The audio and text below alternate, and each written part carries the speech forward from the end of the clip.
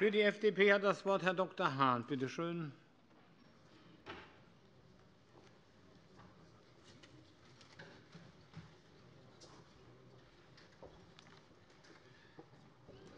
Herr Präsident, liebe Kolleginnen und Kollegen! Ich will mit etwas Heitererem beginnen. Als Mitglied der FDP-Fraktion habe ich die Gnade der späten Geburt der Mitgliedschaft in diesem Ausschuss.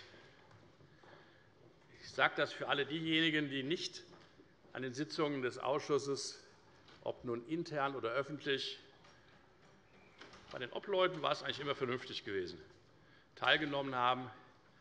Da hat sich ganz offensichtlich zu Beginn bei dem einen oder anderen Kolleginnen und Kollegen ein bisschen eine hohe Emotion aufgebaut, die leider nicht bis zum Ende vollkommen abgebaut werden konnte. Ich will gestehen, dass ich aber froh darüber bin, dass trotz dieser, und Sie merken es ja an den Redebeiträgen, hohen Emotionalität wir mit der Arbeit des Ausschusses zu einem in vielen Punkten, und das lasse ich mir auch nicht wegdiskutieren, in vielen Punkten gemeinsamen Einschätzungen gekommen sind. Ich bedanke mich dafür, dass wir ja, es war auf dem Hessentag, und ja, es war in Korbach, wir es geschafft haben, uns zusammenzuraufen. Ich sage noch einmal Entschuldigung, weil ich dich da auch ein bisschen geärgert habe, was ich gar nicht wollte, gar nicht wusste, aber getroffen. Aber das sind die Emotionen, von denen ich gesprochen habe, und wo wir uns dann zusammengerauft haben unter den Obleuten. Vielen herzlichen Dank an unsere Mitarbeiter, denn die haben die Vorarbeit geleistet.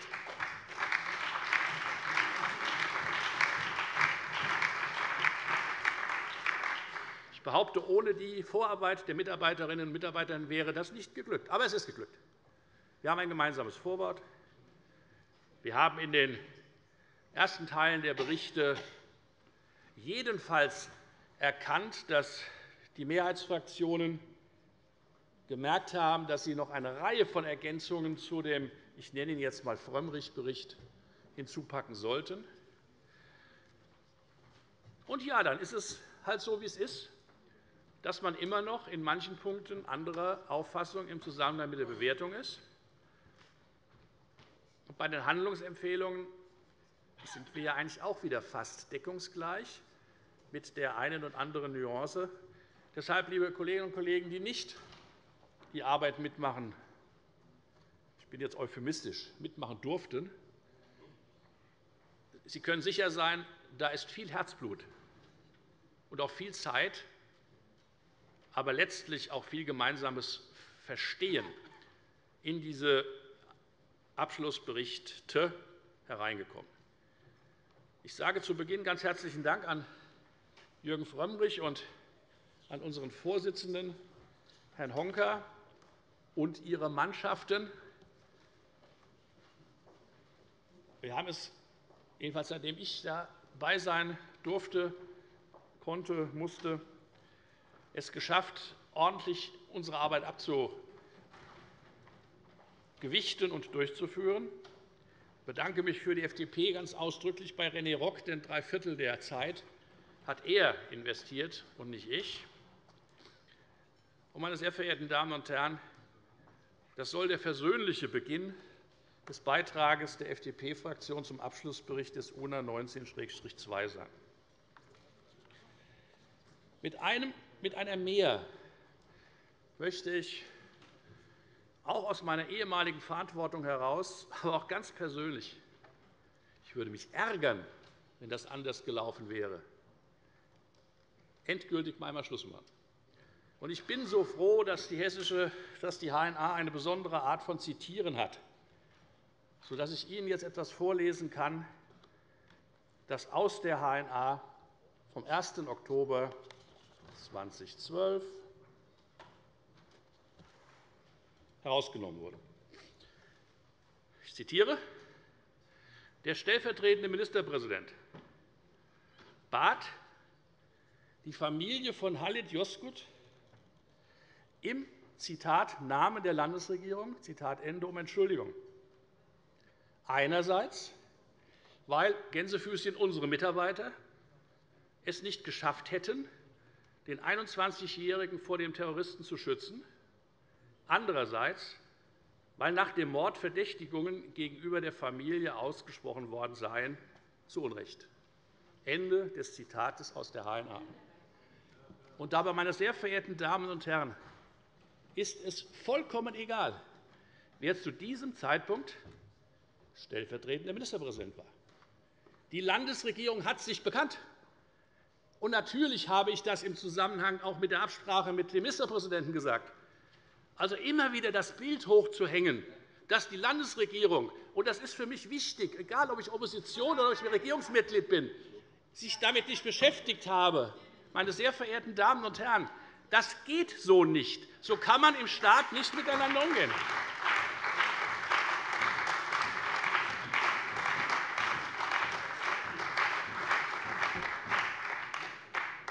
Ich halte noch einmal fürs Protokoll fest.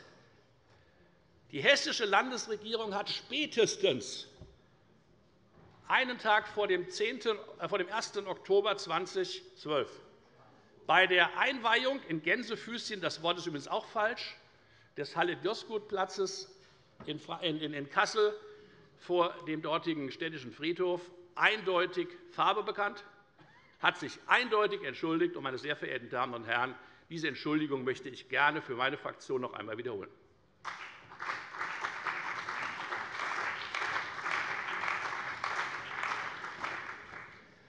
Eigentlich sollten wir uns doch mit der Frage beschäftigen, die aus vier Spiegelstrichen besteht.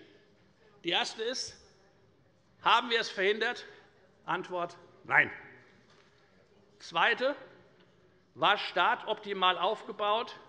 Klare Antwort auch aus diesem Untersuchungsausschussbericht Nein. Dritte Frage. Haben wir Änderungen, wir, die dafür Verantwortlichen sind, im Parlament bzw. in der Verwaltung vorgenommen? Antwort Ja. Und die vierte Frage. Müssen wir weitere Änderungen vornehmen? Antwort Ja. Ich glaube, wenn man das einigermaßen nüchtern einmal herunterbricht, dann kann man auch sich noch viel intensiver mit dem beschäftigen, was wir in diesem Ausschuss lernen mussten.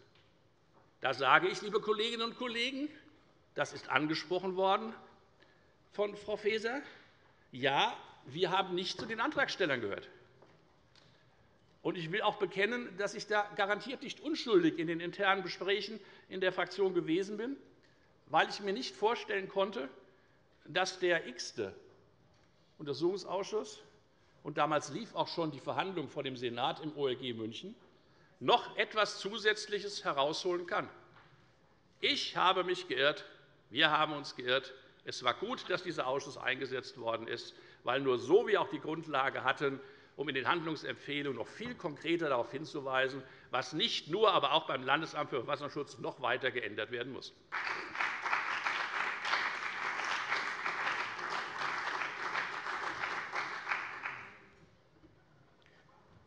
Erwartungshaltung in diesem Ausschuss war, aber wie ich gerade einer Presseerklärung entnehme, ist ja immer noch immens.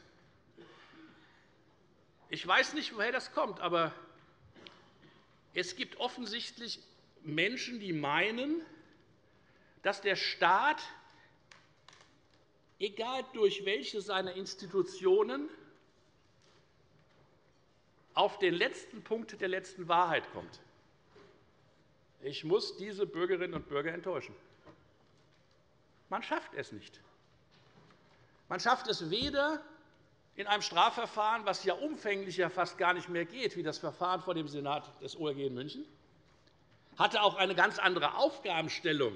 Denn Strafprozessual bedeutet eigentlich, zu schauen, ob die Menschen, die dort auf der Anklagebank sind, schuldig sind und wenn ja, für was oder mit welcher, für was, und dann welche äh, Strafe auszusprechen ist.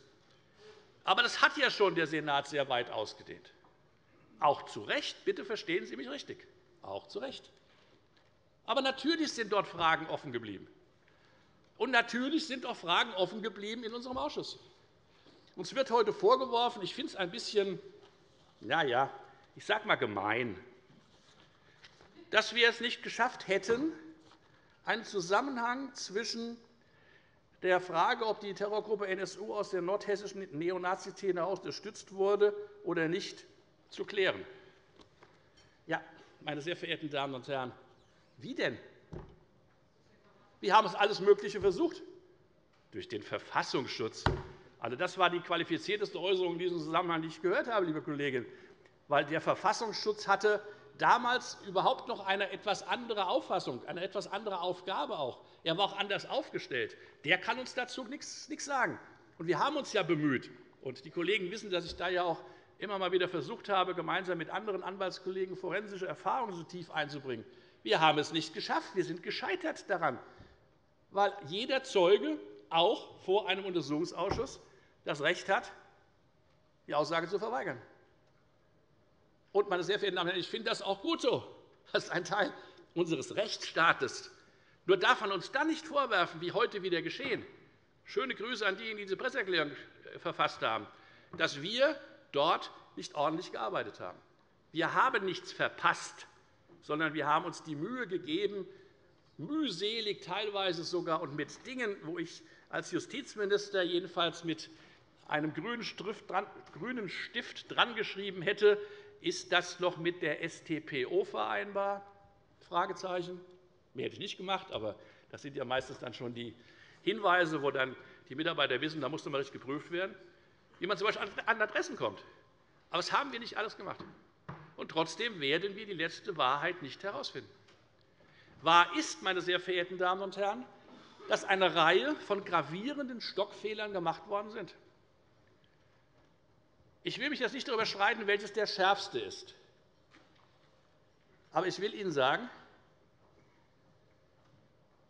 in unserer Erfahrung, sowohl als Anwälte und zwei bzw. bis vor ein oder zwei Wochen drei forensisch aktive Anwälte hier im Raum bei der FDP und viele andere, wir haben es noch nie erlebt, dass ein Ort an dem ein Beschuldigter gefunden wird, ohne Sicherung der Beweise verlassen wird. Das steht auch in jedem Handbuch für Polizeianwärter drin. Wenn ihr jemanden festnehmt und mit auf die Wache nehmt, dann sichert das Umfeld. Also das kann sich auch jeder Nichtjurist vorstellen, warum das so ist. Nur die Kasseler haben es nicht gemacht. Die Polizei hat sogar noch die Staatsanwaltschaft angerufen, wenn ich es richtig im Kopf habe, Jürgen, verbessere mich, und gefragt, was sollen sie tun. Und da wurde gesagt, schnellstens den Temme auf die Wache. Ja, wir haben nicht genug Menschen dabei. Schnellstens den Temme auf die Wache. Das geht nicht. Und das ist auch hoffentlich so jedenfalls die Aussagen des Landespolizeipräsidenten heute, aber auch schon seiner Vorfahren. Das ist abgestellt. Ich bin dankbar dafür, dass die Mehrheit unserem Wunsch entsprechend diesen Teil noch in den Bericht mit aufgenommen hat, sodass er jetzt jedenfalls Meinung einer großen Zahl von Mitgliedern dieses Ausschusses ist. Meine sehr verehrten Damen und Herren, und jetzt schließt sich auch ein bisschen der Kreis zu der Thematik, war das denn überhaupt sinnlos oder sinnvoll, was wir hier gemacht haben? Ja, alleine diesen Punkt haben wir herausgefunden. Alle Untersuchungsausschüsse vorher nicht auch die in Berlin nicht, sondern wir haben herausgefunden, dass, okay, es war ja auch unsere hessische Polizei, diesen Fehler gemacht hat. Der ist hoffentlich abgestellt. Ja, meine sehr verehrten Damen und Herren, wann, wo Temme nun wirklich gewesen ist, wir werden es nie erfahren. Wir müssen in einem Abwägungsprozess, und das hat Jürgen Frömmrich in meinen Augen in dem Abschlussbericht gut gemacht, haben wir zur Kenntnis nehmen müssen, dass es jedenfalls niemanden als Zeugen gibt, der sagt, Temme war da. Ich meine mit da zum Zeitpunkt der Tat in diesem Café. Jetzt kennen wir die Aussage von Menschen, die da waren, die gesagt haben, wir haben einen ich sage das einmal mit meinen Worten, komisches Geräusch gehört. Das konnten wir zunächst nicht so wirklich einschätzen, was es ist. Aber auch daraus können wir nicht schlussfolgern, ob Temme in dieser Zwischenzeit herausgelaufen ist oder nicht. Ja, ich kann den Vater sehr gut verstehen und hatte vorhin noch mit Herrn Bauer darüber mich unterhalten, als äh, der Vater hier im Untersuchungsausschuss gewesen ist und diese für alle Anwesenden beeindruckende Szene war, äh, wie er dann die Tische umgestellt hat, um zu dokumentieren, wie nach seiner Erinnerung der Tatort aussah, als er ja wenige Sekunden oder ein, zwei Minuten höchstens seinen toten Sohn dort gefunden hat. Aber daraus kann man auch nicht schlussfolgern, wenn man das Thema mit der Münze dann nimmt. Hat Temme beim Rausgehen möglicherweise nach dem Schuss, den andere als komisches Geräusch identifiziert haben, das Geld hingelegt und nichts gesehen, oder doch? Und liebe Kolleginnen und Kollegen von den LINKEN, ich weiß ja, dass es schon seit Jahrzehnten Mode in Ihrer Partei ist, Verschwörungstheorien aufzubauen und dass man das ja auch lehrt auf der Akademie. Aber es passt hier einfach nicht hin. Es passt hier einfach nicht hin. Verschwörungstheorien sollte man hier auf keinen Fall machen. Wir jedenfalls machen sie nicht. Und deshalb müssen wir mit der Tatsache leben, müssen wir mit der Tatsache leben, dass wir es niemals erfahren werden, es sei denn, Temme öffnet sich und sagt wirklich, aber vielleicht sagt er ja sogar die Wahrheit. Woher nehmen wir eigentlich die Überheblichkeit? Ich merke es an mir selber in der Wortwahl eben zu glauben, dass Temme lügt. Das ist schon, ein, das ist schon eine. Ja, aber, aber nein, es hat es, hat es nicht. Es hat es unterstellt. Es ist wieder strafrechtlich etwas anderes, liebe Kollegin. Äh, können wir uns gerne darüber noch mal, können wir uns gerne noch einmal darüber unterhalten. Äh, es ist in meinen Augen keine klare Feststellung, dass er zu dem Zeitpunkt am Ort war, sondern es ist eine, Reduktion von Vermutungen und die brauchte man. Und die braucht wir reden, jetzt wirklich über ernsthafte Sachen und nicht über andere. Das hat mit, mit Warum nichts zu tun. Das hat mit Warum nichts zu tun. Nee, ich gehe auf das Entschuldigung. Ich gehe auf das Niveau auch nicht ein. Der dritte Bereich, in dem wir sagen, das hätte auf keinen Fall so passieren dürfen, ist das Thema Disziplinarverfahren gegen Temme. Ich bin mir jetzt unsicher, ab wann spätestens dieses Disziplinarverfahren zur Farce wurde. Ja, solange ein Strafverfahren läuft, ist ein Disziplinarverfahren unterlägig. Also, da liegt die Akte drunter unter der anderen. Aber als das Strafverfahren beendet worden ist, ist man ja auch irgendwie damit so umgegangen, als wenn man so ein bisschen spitze Finger hatte. Ja, ich kann es nachvollziehen, was der damalige Präsident, Herr Eisvogel, in der Ausschusssitzung gesagt hat. Aber, meine sehr verehrten Damen und Herren, auch in einem Disziplinarverfahren muss es ein gewisses Maß an Transparenz geben, und das erreicht man nur durch Dokumentation. Und es ist nichts dokumentiert. Es ist offensichtlich eine reine Veranstaltung. Wir machen das jetzt einmal. Das geht einfach in einem Rechtsstaat nicht. Aus diesem Grunde haben wir ja auch zusammen in dem Abschlussbericht auf der 722 notiert. Gleichwohl vertritt der Ausschuss die Auffassung, dass die Gründe für die Einstellung des Disziplinarverfahrens ausführlich hätten dokumentiert werden müssen. Ich will mir jetzt untersagen, was hier noch alles steht mit Seitenhieben. Ja, die Unterstützung der Bundesebene für unseren Ausschuss fand ich suboptimal. Ja, die Unterstützung, da hat Nancy Faeser vollkommen recht, der Landesregierung in dem einen und anderen Punkt fand ich suboptimal. Ich werde jetzt nicht unterstellen, aber Sie können mir glauben, dass ich nicht mit dem festen Vorsatz heute Abend ins Bett gehe, dass ich mir sicher bin, dass die Mitglieder des Ausschusses sämtliche Akten der Landesregierung zur Verfügung gestellt bekommen haben. Ich glaube es nicht. Ich glaube es nicht. Aber auch das ist egal, weil das Thema jetzt durch ist. Und, meine sehr verehrten Damen und Herren, weil wir, und ich fasse zusammen, mehrere Dinge festhalten sollten. Das Allerwichtigste ist, wir müssen selbst frei im Kopf sein. Da müssen wir uns anstrengen, Vorurteile wegzukicken, auszusäubern. Wir müssen selbst frei im Kopf sein, bei der Beurteilung irgendeiner Tat sofort mit Vorurteilen an die scheinbare Lösung zu gehen. Das geht immer schief.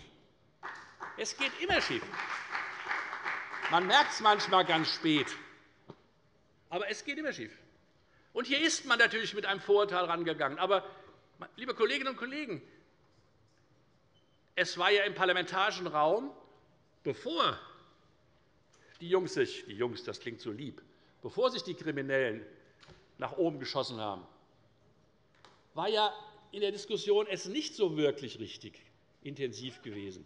Das Vorurteil hat fast immer und überall überlagert. Es war falsch. Das Zweite ist, wir müssen immer und immer wieder zur Kenntnis nehmen, dass alles das, was wir als Politik, aber insbesondere die Ermittlungsbehörden und die Verwaltung machen, Auswirkungen auf unsere Mitbürgerinnen und Bürger hat. Ich habe im Auftrag der Bitte, der Bitte Auftrag nehme ich sofort zurück, des damaligen Bundespräsidenten Christian Wulff, den ich auch aus vorherigem Tun schon gut kenne, mich um eine Familie betreut, die nicht zu den hessischen Opfern gehört, obwohl sie teilweise in Hessen gelebt hat. Dieses Trauma kriegen Sie nicht mehr weg.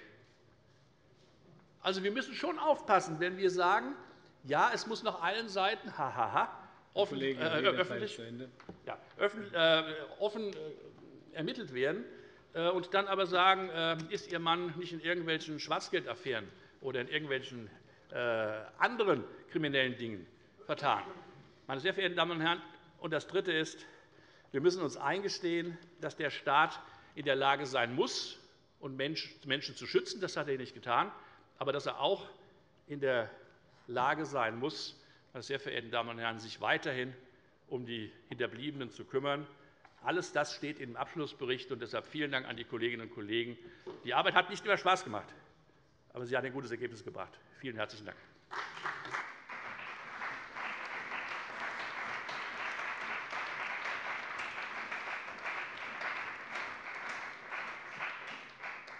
Das Wort hat der Abg.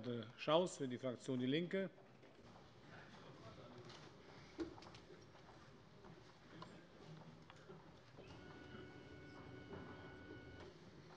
Herr Präsident, meine sehr geehrten Damen und Herren!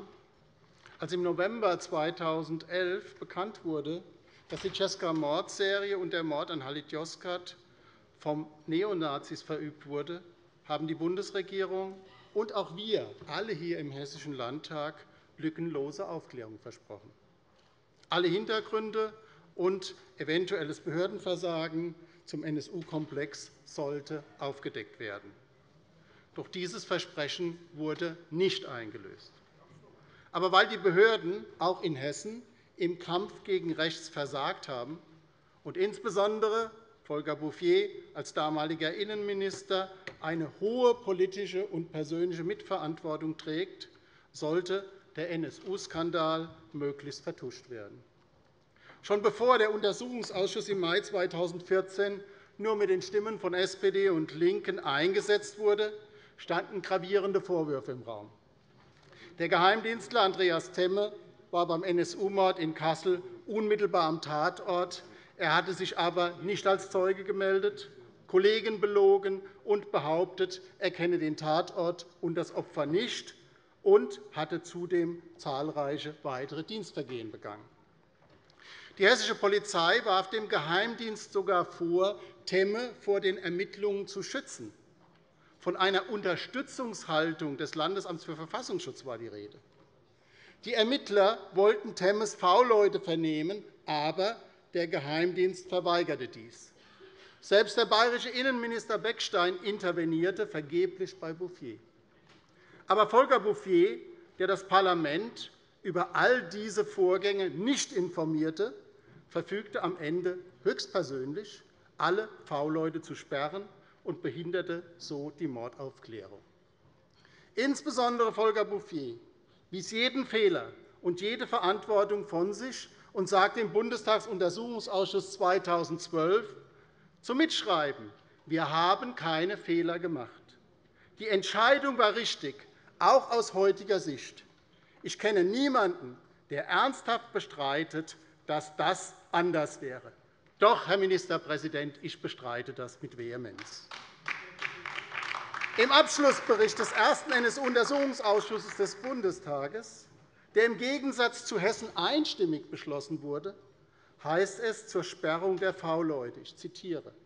Die Polizei sah ihre Ermittlungen dadurch zu Recht massiv beeinträchtigt. Die Entscheidung in diesem besonderen Falle traf ein halbes Jahr nach der Tat im Oktober 2006 der damalige Innenminister von Hessen, Volker Bouffier. Soweit das Zitat. Welch gravierende Vorwürfe gegen den ehemaligen Innenminister, wie Ermittlungen massiv beeinträchtigt. Dem müsste ja eigentlich ein Parlament, dessen Aufgabe es ist, die Regierung zu kontrollieren, unverzüglich nachgehen. Ein Untersuchungsausschuss ist laut Verfassung ein Instrument zur Kontrolle der Regierung. Und mit der Beantragung des Hessischen NSU-Untersuchungsausschusses und der intensiven Arbeit über vier Jahre hat DIE LINKE versucht, unter schwierigsten Bedingungen unser 2012 gemeinsam gegebenes Aufklärungsversprechen auch tatsächlich einzulösen.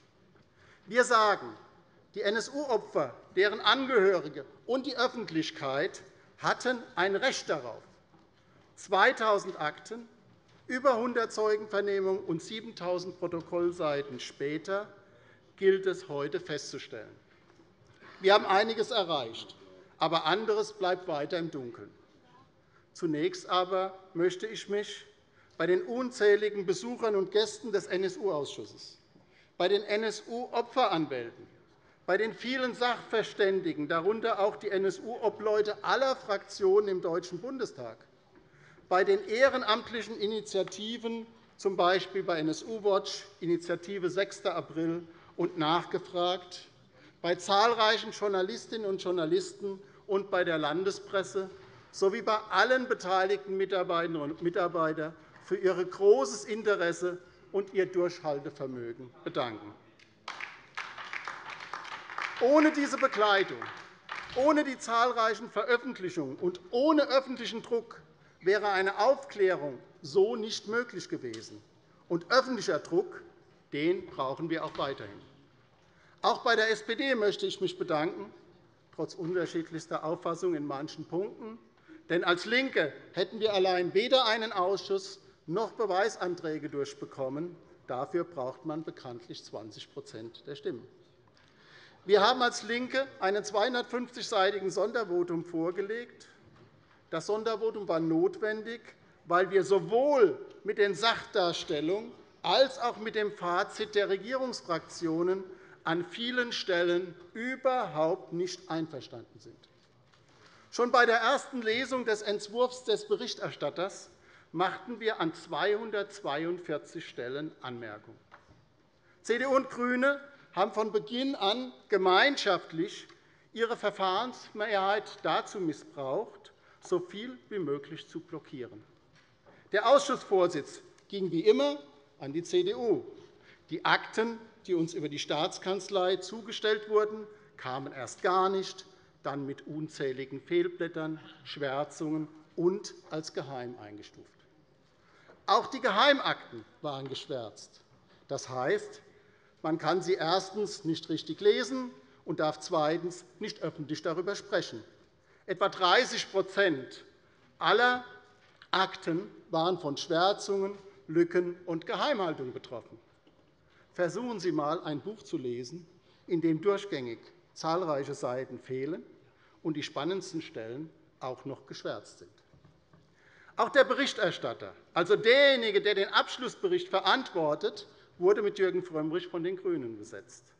Er durfte am Ende nach vier Jahren versuchter Blockade durch CDU und GRÜNE feststellen, was der Ausschuss angeblich herausgefunden hat und was nicht.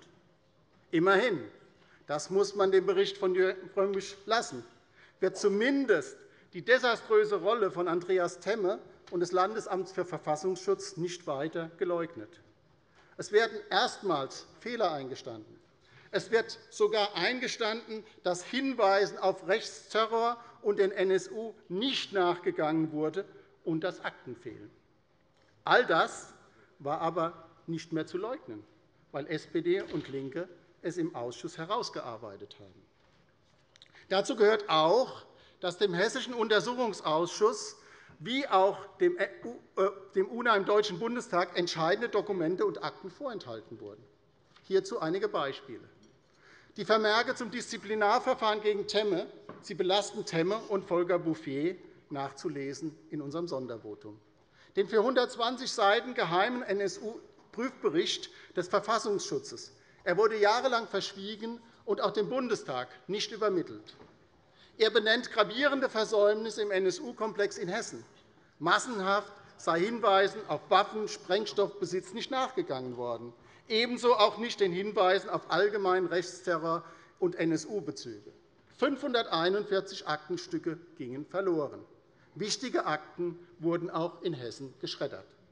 All dies wurde lange verschwiegen und noch dazu für 120 Jahre zur Geheimsache erklärt.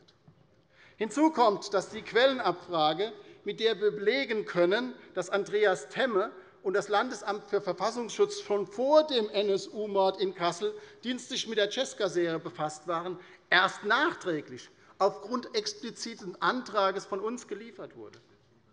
Das ist eine ganz gravierende Tatsache.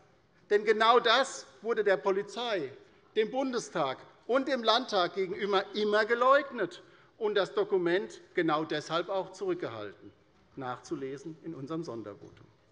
Dies alles mussten wir eigenständig durch Zeugenaussagen herausarbeiten, um die Landesregierung zur Herausgabe dieser Akten explizit auffordern zu können, obwohl sie ja hätten längst geliefert werden müssen.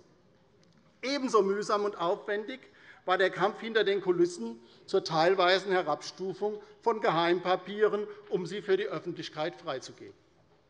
Dies sagt selbst der NSU-Ausschuss des Deutschen Bundestages. Zitat.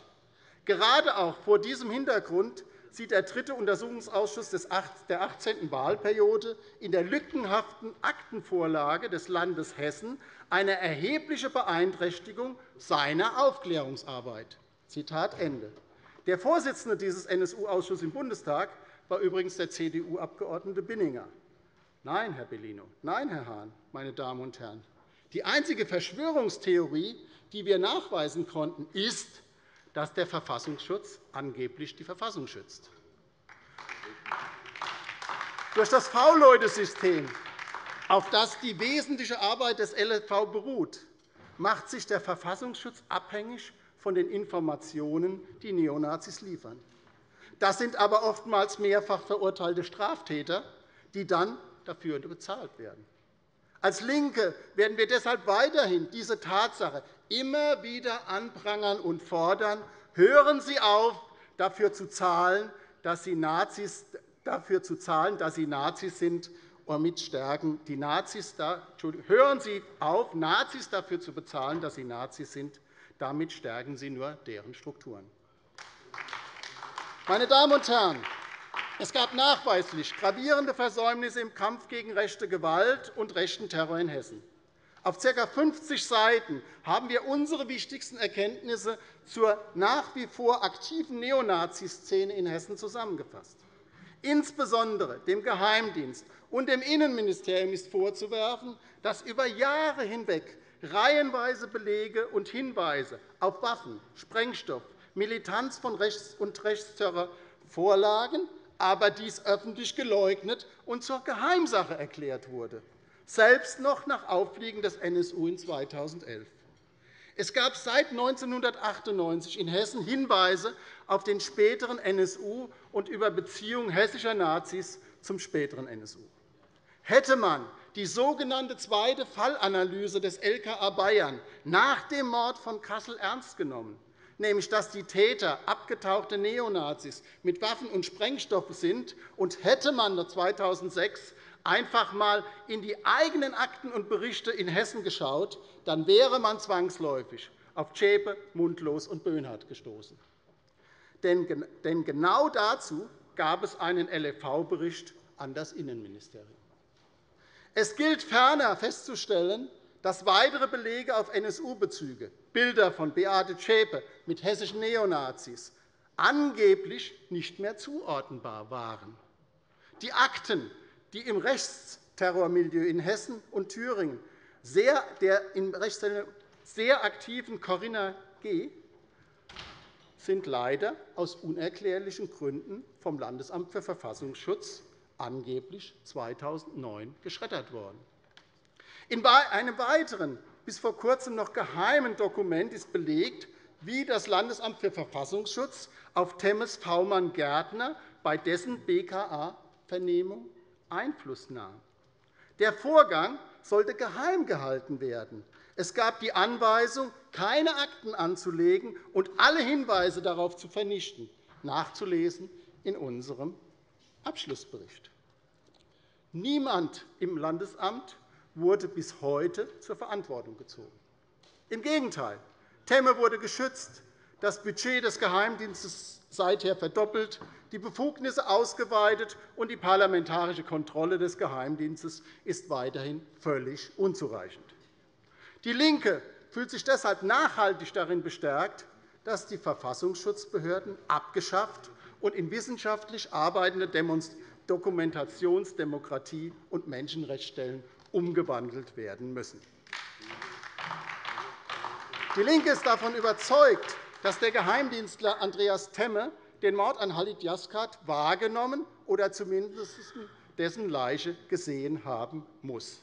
Dafür sprechen die Abläufe am Tatort und auch sein Verhalten nach dem Mord.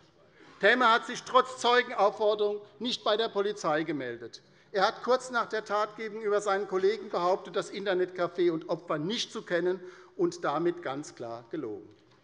Er wusste ebenfalls schon am Montag nach dem Mord, dass dabei die Cesca benutzt wurde, ohne dass dies vorher in der Zeitung stand.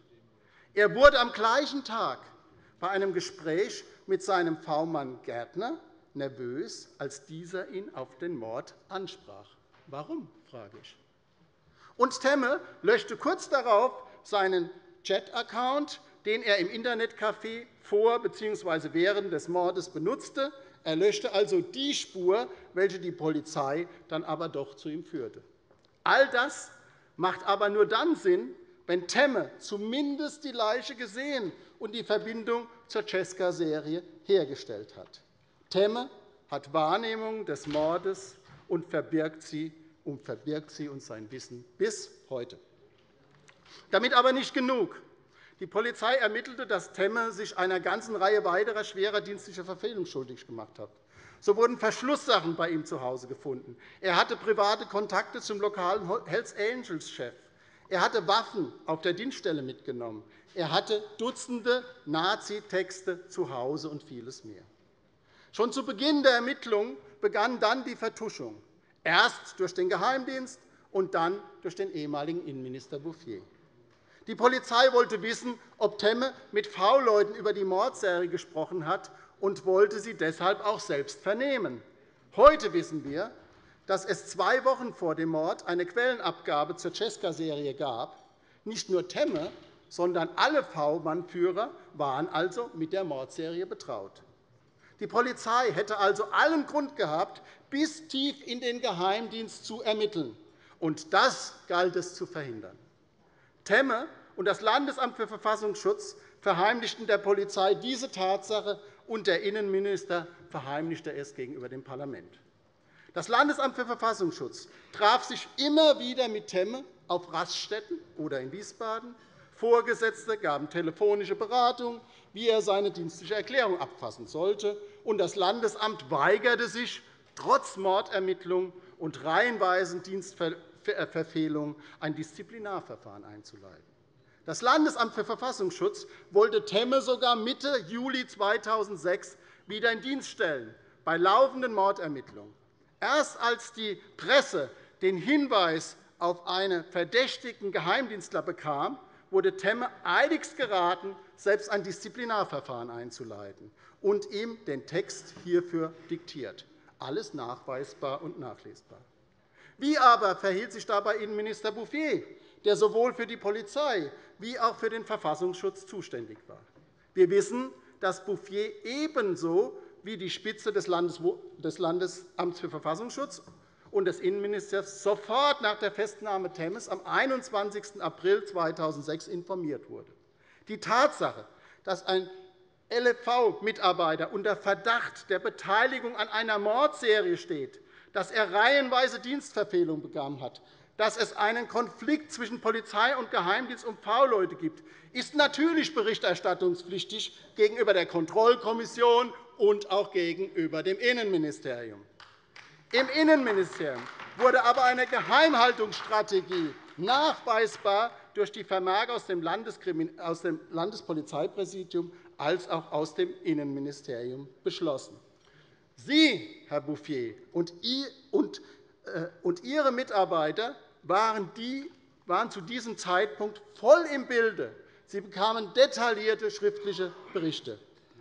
Am 17. Juli 2006 kommt es dann zu einer eiligst einberufenen Sondersitzung des Innenausschusses. Dort sagt der Innenminister mehrfach die Unwahrheit. Sie sagten, Herr Bouffier, Sie hätten es gerade erst aus der Zeitung erfahren und es gebe kein Regierungshandeln in irgendeiner Form. Das war falsch. Sie und das Landesamt für Verfassungsschutz waren ab dem 21. April voll informiert. Ihnen lagen schriftliche Berichte vor. Es gab Absprachen zum Disziplinarverfahren, und es gab die Befassung auf der Innenministerkonferenz Anfang Mai. Sie sagten zudem, ein Disziplinarverfahren haben wir nicht. Wörtlich, haben wir nicht. Auch falsch. Das Verfahren wurde bereits am 12.07.2006 eingeleitet, und Sie und Ihre Mitarbeiter und das Landesamt für Verfassungsschutz wussten dies auch. Sie, Herr Bouffier, haben ja sogar einen Tag nach der INA-Sitzung zusammen die weiteren Schritte im Disziplinarverfahren im Ministerium besprochen. Sie, Herr Ministerpräsident, sagten dem Innenausschuss, Temme kann es nicht gewesen sein. Darum kann man auch ableiten, dass der Mann unschuldig ist. Während die laufenden Mordermittlungen noch liefen, wurde diese Aussage im Innenausschuss getroffen. Von sämtlichen weiteren dienstlichen Verfehlungen gegen Temme aber kein Wort. Und Sie, Herr Ministerpräsident, sagten, dass es keinen dienstlichen Bezug in irgendeiner Form gibt und begründeten damit auch noch, warum zuvor nicht berichtet worden war. Aber auch das war völlig falsch, wie nicht nur durch die oben äh, genannten Quellenabfrage bewiesen wurde. Und Sie, Herr Ministerpräsident, behaupten im Beisein des Landesamts für Verfassungsschutz und seiner Mitarbeiter, dass die das alles wussten, es gebe keinen dienstlichen Bezug. Herr Kollege Schaus, Sie müssen langsam zum Schluss kommen. Herr Präsident, ich komme zum Schluss. Und dann passiert die absolute Ungeheuerlichkeit. Temme blieb trotz allem disziplinarrechtlich völlig unbehelligt und war, weil durch Ihre Anweisung, Herr Ministerpräsident, das Disziplinarverfahren von Beginn an in den Sand gesetzt wurde. Und das steht in den Akten aus Fürsorgeerwägung und äh, dass keine Bezüge gekürzt werden sollen. Äh, das ist der Punkt. Herr Ministerpräsident, das soll mein letzter Satz sein. Ich fordere Sie auf, ebenso wie meine Kollegin Frau Faeser, hier und heute Stellung zu nehmen, sich bei der Familie Joska zu entschuldigen, Fehler einzugestehen und daraus die Konsequenzen zu ziehen.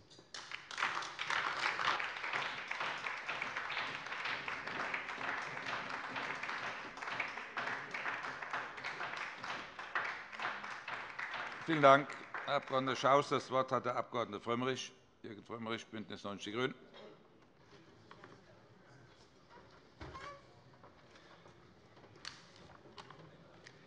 Vielen Dank, Herr Präsident, meine sehr verehrten Damen und Herren, liebe Kolleginnen und Kollegen! Lassen Sie mich am Anfang eine Feststellung machen. Ja, die Arbeit hat sich gelohnt. Der Untersuchungsausschuss hat eine wichtige Arbeit geleistet. und Es war ein Fehler der Einsetzung nicht zuzustimmen. Das haben wir aber schon mehrfach betont als Fraktion und auch als Koalition. Liebe Kolleginnen und Kollegen, vielleicht sollte man das einfach einmal zur Kenntnis nehmen. Unser Ansehen war ja nicht seinerzeit, die Aufklärungsarbeit nicht zu leisten. Wir hatten die Vorstellung, dass diese Aufklärungsarbeit nach, dem umfangreichen Aufklärungs auch nach der umfangreichen Aufklärungsarbeit des äh, NSU-Untersuchungsausschusses des Deutschen Bundestags wir hatten die Vorstellung, das einer Expertenkommission zu übertragen. Das wäre eine andere Form der Aufklärung gewesen. Aber auch da war das Ziel ein ganz eindeutiges, nämlich die Arbeit der Sicherheitsbehörden und die Zusammenarbeit der Sicherheitsbehörden, die Verantwortlichkeiten in diesem Verfahren zu klären, zu untersuchen und äh, das dann auch als Bericht vorzulegen. Es war also klar, dass diese Aufklärungsarbeit von uns zu diesem Zeitpunkt auch gewollt war. Das will ich hier noch einmal ganz deutlich hinterlegen. Das hat im Übrigen, sage ich einmal dazu, auch eine Fraktion in diesem Hause auch so gesehen. Am Ende war die Einrichtung einer parlamentarischen, äh, einer parlamentarischen Untersuchungsausschuss zweifellos die richtige Entscheidung. Ich will noch einmal ausdrücklich betonen, der Parlamentarische Untersuchungsausschuss hat eine gute, eine äußerst wichtige Aufklärungsarbeit geleistet. Er hat sich intensiv und gründlich mit den Umständen im Zusammenhang mit dem schrecklichen Mord an Halit Yozgat befasst. Der Ausschuss hat uns allen tiefe Einblicke in die Arbeit der Sicherheitsbehörden geliefert, die für unsere zukünftige Parlamentsarbeit und für Entscheidungen im Zusammenhang mit der Organisation und auch mit dem rechtlichen Rahmen der Sicherheitsbehörden geben, die uns da von großem Wert sind. Deswegen hat sich diese Arbeit auf jeden Fall gelohnt, liebe Kolleginnen und Kollegen. Aber ein Ausschuss ist eben kein Tribunal. Der Kollege Hahn hat es dankenswerterweise gerade ja auch hier noch einmal ausgeführt. Wir Ausschussmitglieder sind auch nicht die besseren Ermittler oder die besseren Staatsanwälte. Ein Untersuchungsausschuss sammelt Fakten und trägt sie zusammen und bewertet sie dann. Der Auftrag, den Sie uns gegeben haben, für die Feststellungen, die wir im Bericht schreiben müssen, brauchen wir Beweise, brauchen wir Belege, brauchen wir Tatsachen. Deswegen unterscheidet sich das schon von etwas, was hier manchmal im Zusammenhang mit den Diskussionen gefordert ist. Die Ausschussarbeit ist eine andere. Wir müssen Belege bringen. Wir müssen Beweise bringen, und wir müssen Tatsachen vortragen. Ohne das kann das auch nicht Einfluss auf den Abschlussbericht haben. Und das haben wir, glaube ich, sehr gründlich und sehr umfangreich getan, liebe Kolleginnen und Kollegen. Arbeitshypothesen, liebe Kolleginnen und Kollegen, Arbeitshypothesen kann man vor der Aufklärungsarbeit haben. Am Ende der Beweisaufnahme, am Ende eines Untersuchungsausschusses sollte man Beweise und Belege haben. Weil das so ist, müssen wir auch im Einzelfall sagen können, wir wissen nicht, wie das geschehen ist. Das mag manchen enttäuschen. Das hat uns auch enttäuscht, an manchen Fragen eben nicht sagen zu können, wie es genau gewesen ist. Aber ich kann nicht am Ende eines Untersuchungsausschusses Feststellungen treffen, für die ich eben keine Belege und keine Beweise habe. Und das sollte man vielleicht in dem Zusammenhang auch einmal zur Kenntnis nehmen. Weil das so ist, müssen wir eben im Einzelfall auch sagen können, wir wissen es nicht. Und das mag den einen oder anderen enttäuschen. Aber das entspricht unseren Regeln, liebe Kolleginnen und Kollegen. Das entspricht den Regeln, die wir uns selber gegeben haben. Das entspricht den Regeln unseres Rechtsstaates. Und die Regeln dieses Rechtsstaates geben das eben vor. Das ist vielleicht das ein oder andere Mal bei dem einen oder anderen, was ich so gelesen habe, in Vergessenheit geraten. Und es wurde hier ja gesagt, es habe eine Behinderung der Ausschussarbeit gegeben. Und das finde ich einen krassen Vorwurf. Ich möchte dazu Folgendes feststellen. Es hat keinen einzigen Beweisantrag einer Fraktion in diesem Untersuchungsausschuss gegeben, der von der Mehrheit abgelehnt worden ist. Kein einziger Beweisantrag ist abgelehnt worden. Jede Fraktion konnte ihre Zeugen vor dem Ausschuss vernehmen lassen. Jeder Zeuge wurde vernommen. Keine Fraktion sah sich gezwungen, vor den Staatsgerichtshof zu gehen und Minderheitenrechte einzuklagen. Das Verfahren war, wie wir es gewählt haben, war so, dass alle die Möglichkeit haben, das vorzutragen, was sie wollten, und die Zeugen zu vernehmen, die sie konnten. Deswegen verstehe ich nicht, wie man daraus einen Vorwurf konstruieren kann, die Mehrheit habe die Arbeit im Ausschuss behindert. Das weise ich ausdrücklich zurück. Es wurden es wurde darüber geklagt, liebe Kolleginnen und Kollegen, Akten seien geschwärzt oder gesperrt gewesen. Ja, das gab es. Es gab einen Streit um geschwärzte Akten. Das ist richtig. Das war für den Ausschuss am Anfang ein gewisses Problem und hat auch zu sehr vielen Diskussionen im Ausschuss geführt. Es gab aber auch eine Lösung. Das wird hier nicht erwähnt. Die Lösung war, für das Problem war die Möglichkeit der Einsichtnahme in die ungeschwärzte Akte. In die ungeschwärzte Akte. Jedes Mitglied dieses Ausschusses hatte das Recht, Einsicht in die Originalakte zu nehmen, und zwar im Hessischen Landtag. Er musste es nur sagen. Es musste nur gesagt werden, welche Akte das sein sollte, wurde die Akte ungeschwärzt vorgelegt. Dann wurde die ungeschwärzte Akte gebracht. Wir haben das Wiesbadener Verfahren genannt. Liebe Kolleginnen und Kollegen, was gibt es mehr an Transparenz, als eine ungeschwärzte Akte vorzulegen und zu sagen, bitte guckt euch das an und vergleicht es mit den Schwärzungen, ob da irgendetwas vertuscht werden soll? Ich frage mich, wo da die wenige Transparenz und die Behinderung der Arbeit des Ausschusses gewesen sein. Im Übrigen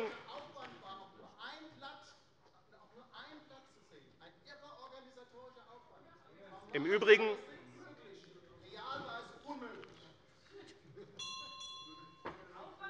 jeder Abgeordnete in diesem Ausschuss hatte die Möglichkeit, sich die ungeschwärzten Akten anzugucken. Mehr, nicht mehr und nicht weniger, habe ich gesagt. Und mehr an Transparenz gibt es nicht, liebe Kolleginnen und Kollegen. Gibt es nicht. Ich will das auch noch einmal sagen. Im Übrigen betraf das auch die Akten, die einer langen, wie ich meine, zu langen Geheimhaltungsfrist unterliegen. Das ist ja vorhin hier gesprochen worden, 120 Jahre. Stimmt. Auch diese Akten konnten ungeschwärzt eingesehen werden. Wir haben dann auch in die Handlungsempfehlungen reingeschrieben und vorgeschlagen, dass die Einstufung der Dauer der Geheimhaltung geändert werden soll. Ich halte es für absolut notwendig, dass hier Regelungen getroffen werden, die das nicht mehr vorsehen, 120 Jahre. Aber ich habe auch, das gehört auch zur Wahrheit dazu, ich habe auch im Vorfeld dieses Untersuchungsausschusses, ich bin schon ein paar Tage in der Parlamentarischen Kontrollkommission für den Verfassungsschutz, meine Vorgänger auch. Äh, viele, die hier sitzen, haben das auch gemacht.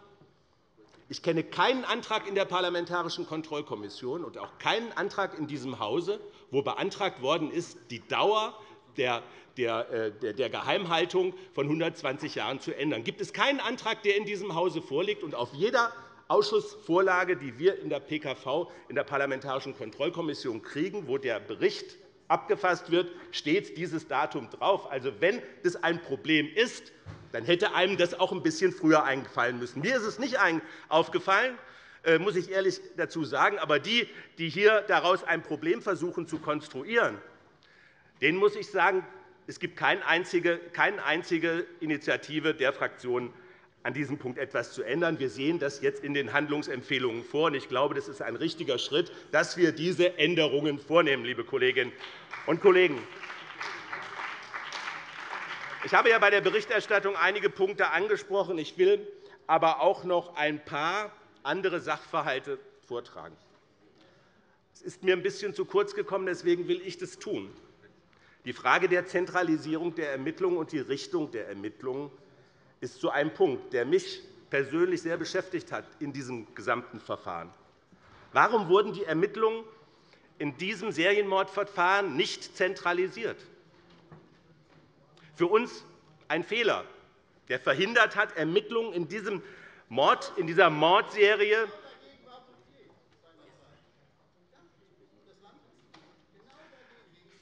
für uns ein Fehler, der verhindert hat, die Ermittlungen in dieser Mordserie bundesweit auszudehnen, den Blick zu weiten für andere Ermittlungsansätze, offener zu sein, zu schauen, äh, was passiert in anderen Bundesländern, die auch nicht Tatortbundesländer waren. Gerade wenn die Tatorte verschiedene Bundesländer in verschiedenen Bundesländern gibt, gerade wenn die Ermittlungen festhängen, wäre es gut gewesen, den Blick auf das ganze Bundesgebiet zu erweitern und andere Taten in die Ermittlungen mit einzubeziehen. Wir sind als Ausschussmitglieder ich sage das ja schon, natürlich habe ich das gerade auch schon einmal gesagt, wir sind da nicht die besseren Ermittler.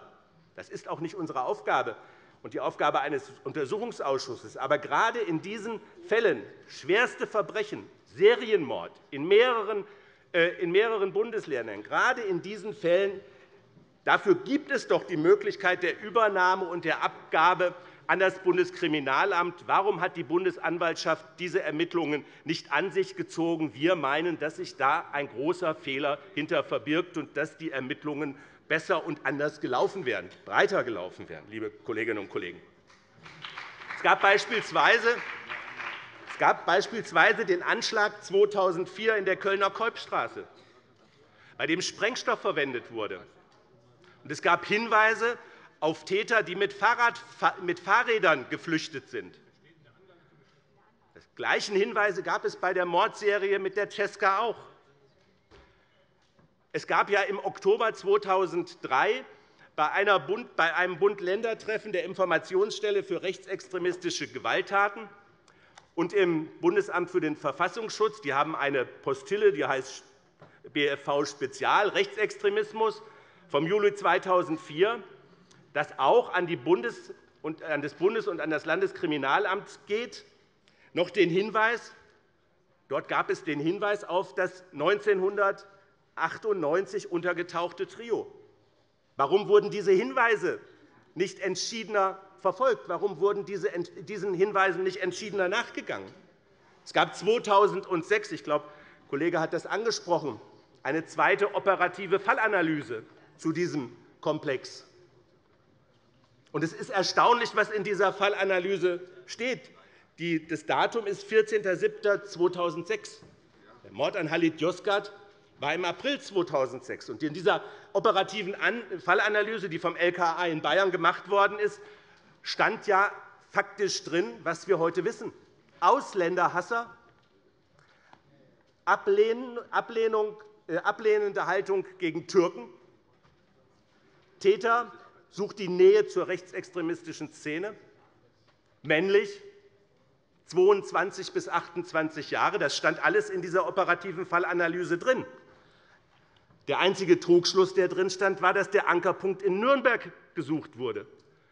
Wenn wir aber eine zentrale Ermittlung gehabt hätten von einer Bundesbehörde, die einen Bundesblick darauf gehabt hätte, die verschiedene Dinge zusammengebracht hätte, wäre man unter Umständen von einem anderen Ankerpunkt äh, ausgegangen und hätte den Zirkel vielleicht auf diejenigen, äh, auf diejenigen gebracht, die in Thüringen untergetaucht sind. Also für uns ein Fehler, diese Ermittlungen nicht zu zentralisieren. Und der Fehler, hier äh, den Ankerpunkt Nürnberg anzunehmen, wäre unter Umständen dann nicht erfolgt. Bundesweit der Blick. Das war das, was uns im Ausschuss sehr beschäftigt hat. Warum ist man der Frage des ehemaligen bayerischen Innenministers Günter Beckstein nicht nachgegangen. Er hat in seine Polizei äh, kommuniziert und gefragt, ob diese Morde – wir müssen uns daran erinnern, fünf, äh, Tatorte äh, gab es in Bayern – er hat in seine Behörden gefragt, ausländerfeindlicher Hintergrund Fragezeichen, hat er auf einen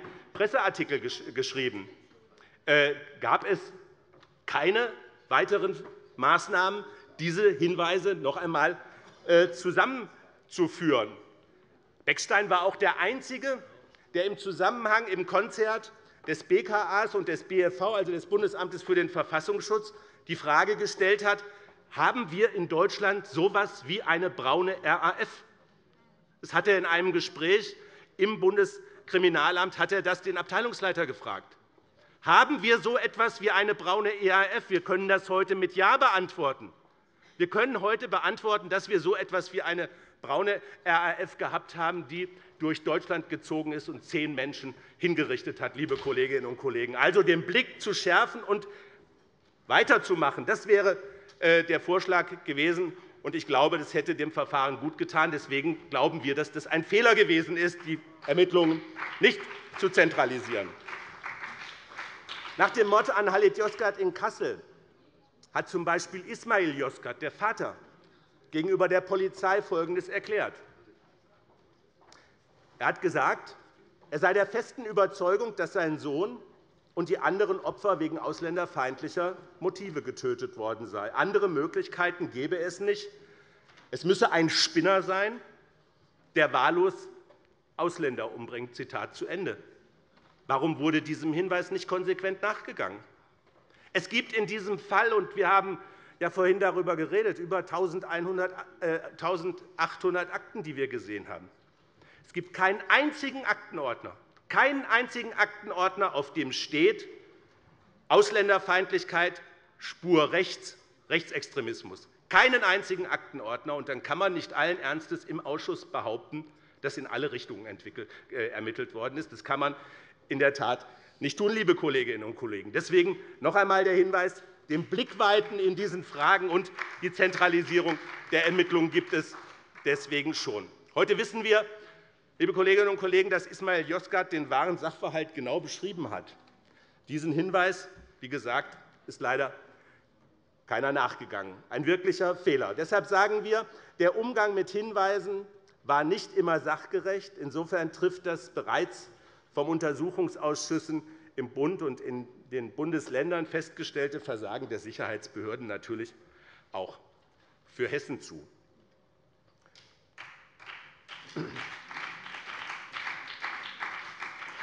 Ich will noch einen kurz auf die Person Temmer eingehen. Ich glaube, da haben wir alle unsere eigenen Eindrücke gesammelt. Ich glaube, es ist uns allen so gegangen, von mir kann ich das zumindest definitiv sagen, dass die Vernehmung von Herrn Temme und die Person Temme bei mir ein Störgefühl ausgelöst hat.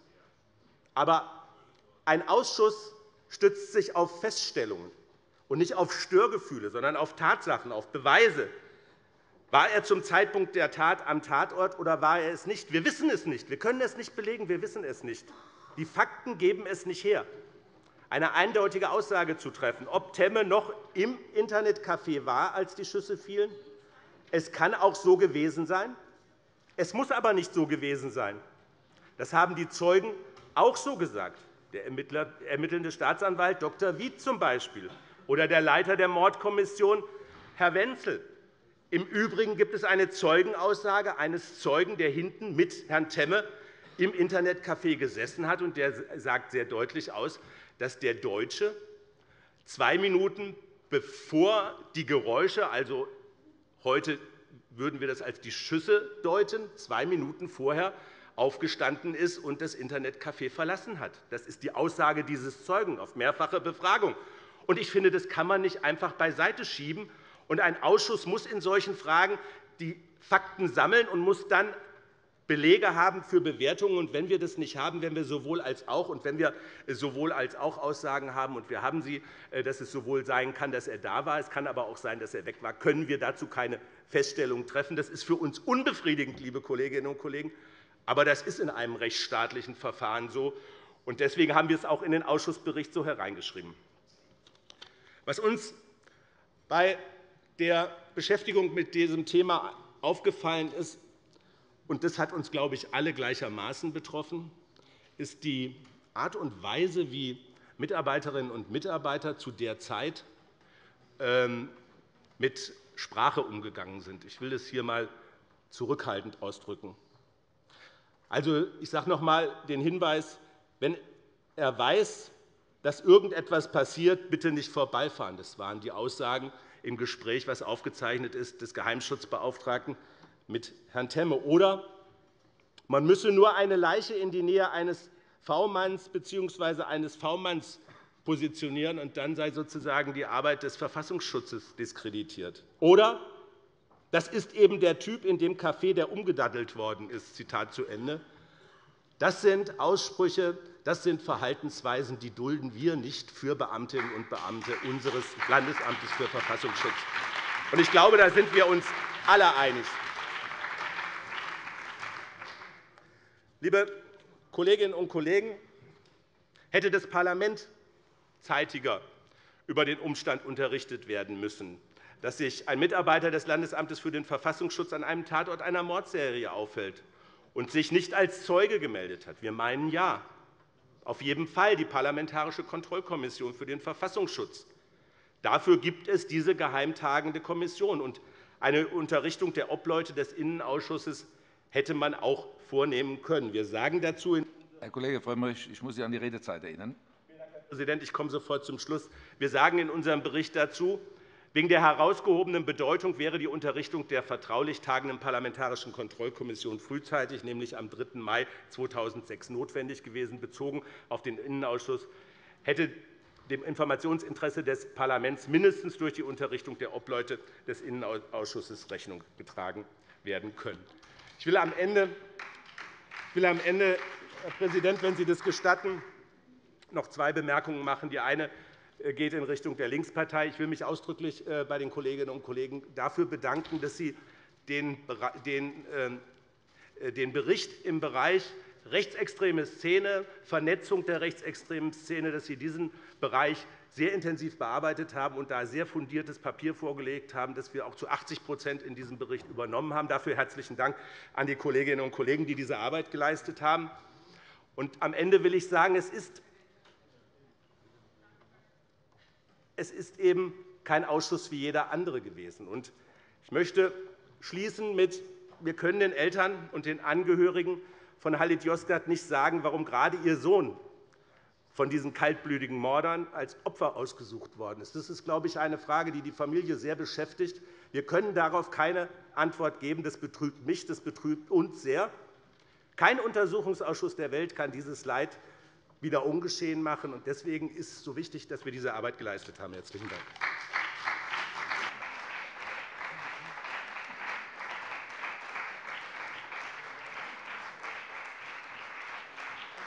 Vielen Dank, Kollege Frömmrich. Es gibt eine Kurzintervention des Kollegen Hermann Schaus, Fraktion DIE LINKE.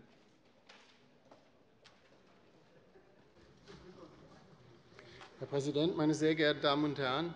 Ich möchte zu den Ausführungen des Kollegen Frömmrich nur an drei Stellen noch einmal Anmerkungen machen. Äh, die Aussage war, die erste, jeder Abgeordnete hätte die Möglichkeit, die ungeschwärzten Akten einzusehen. Das ist formal korrekt, und das ist aber real nicht möglich. Ich will das nur einmal skizzieren. Äh, dadurch, dass wir kein Untersuchungsausschussgesetz in Hessen haben, eines der wenigen Bundesländer, die kein Untersuchungsausschussgesetz hat, wurden hier, mussten hier im Einzelfall immer dann, wenn neue Probleme aufgetaucht sind, eigenständige Regelungen getroffen werden. Diese Regelung hat die Mehrheit dann auch so festgelegt. Das hört sich gut an. Ihr könnt ja in alle Akten schauen. Wir haben das zweimal praktiziert, um nur ein oder zwei Seiten einer Akte überhaupt lesen zu können, ungeschwärzt, ja, musste erst einmal ein formaler Antrag gestellt werden. Dann mussten die genauen äh, Dokumente bezeichnet werden. Dann haben wir äh, gewartet, bis das Landesamt für Verfassungsschutz sozusagen seine Mitarbeiter, es waren immer mehrere, da war immer einer dabei, der hat genau jede Frage, die wir gestellt haben, dann auch noch einmal notiert. frage ich mich, warum. Ja. Und der entscheidende Punkt ist aber der, und das wussten Sie von Anfang an, sage ich mal, das war sozusagen der Kern der Behinderung dieser Akteneinsicht. Es durften nur die Abgeordneten des Untersuchungsausschusses und nicht selbst die sicherheitsüberprüften Mitarbeiterinnen und Mitarbeiter, die ja das Gros der Arbeit äh, äh, geleistet haben und die Akten viel besser kennen, wie wir als Abgeordnete, in diese Beratung rein. Wir durften keine Notizen machen, und wir kamen raus und hatten etwas im Kopf und konnten nichts damit anfangen. Das ist sozusagen das ist was, was sich formal super anhört, aber was in Realität und ich behaupte, Sie wussten genau, was Sie da beschließen, was in Realität natürlich genau das Gegenteil, äh, äh, äh, zum Gegenteil geführt hat. Inwieweit die Parlamentarische Kontrollkommission die von Herrn Eisvogel frage ich mich auch, äh, erlassene äh, Regelung äh, für Akten in Hessen für 120 Jahre zu sperren, wo es in anderen Bundesländern nur 30 Jahre sind. Das entzieht sich meinem äh, äh, äh, das entzieht sich meiner Kenntnis, weil wir auch keinen Vertreter in der, Personal, in der Parlamentarischen Kontrollkommission haben. Aber dass dies bisher unkritisch von allen sozusagen ähm, ähm, hingenommen wurde, wirft auch kein gutes Licht sage ich mal, auf die parlamentarische Kontrolle schlechthin, als auch auf die Kritikfähigkeit äh, der äh, Regierungsfraktion. Also, Herr Kollege, Herr Kollege Schaus, ich muss Sie jetzt herzlich bitten. Also, letzter Satz, Herr Präsident. Aber vielleicht stellen Sie ja selbst einmal einen Antrag, wenn Sie ihn, äh, wenn Sie ihn schon von anderen Fraktionen fordern, dass diese Regelung wieder rückgängig gemacht wird. Das wäre ja auch eine Möglichkeit. Ne? Vielen Dank. Jürgen Frömmrich, willst du antworten? Bitte.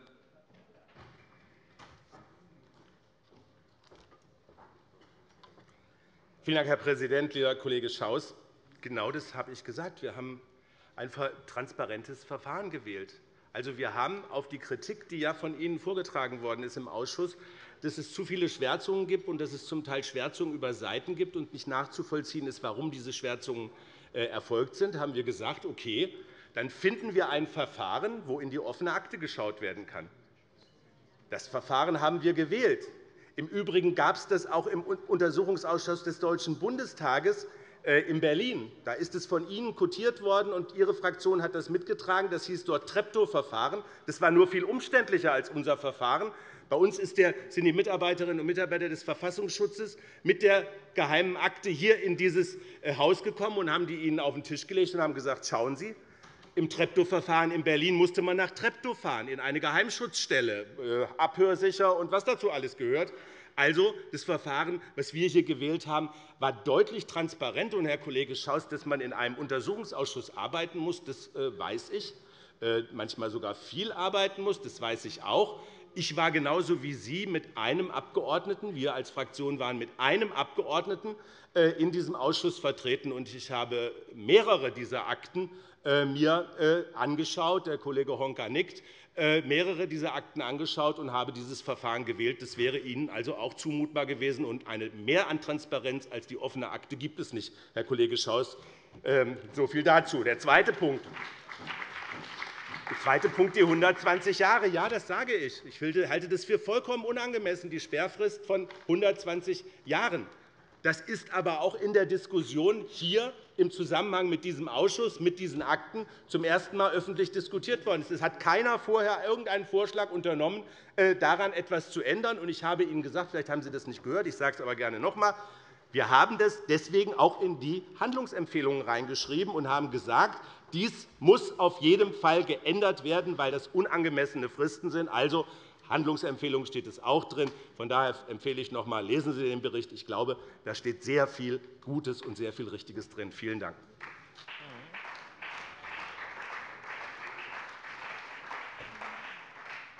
Vielen Dank, Kollege Frömmrich. Meine Damen und Herren, es gibt keine weiteren Wortmeldungen mehr.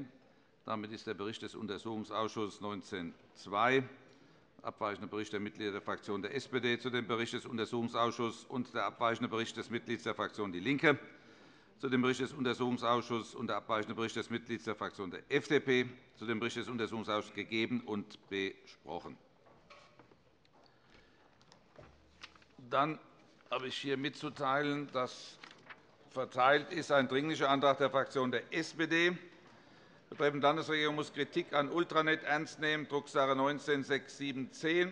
Dringlichkeit wird bejaht. Das wird Top 82.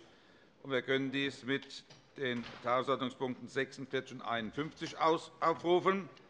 Außerdem eingegangen, verteilt Dringlicher Entschließungsantrag von CDU, BÜNDNIS 90 die GRÜNEN, Drucksache 6712. Ebenfalls Bejahung der Drucksache der Dringlichkeit, dann ist dies Top 83 und kann ebenfalls mit 46 und 51 aufgerufen werden. Allgemeine Zustimmung. Dann darf ich auf der Besuchertribüne begrüßen unseren langjährigen Kollegen und Freund Dr. Norbert Herr aus Fulda. Herzlich willkommen, Norbert.